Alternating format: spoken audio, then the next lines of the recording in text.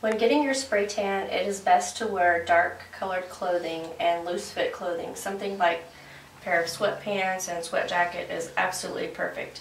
It does not stain your clothes, however, the bronzing residue will come on your skin clothing, um, but it's just best to be wear dark colored clothing. You cannot shower for six hours.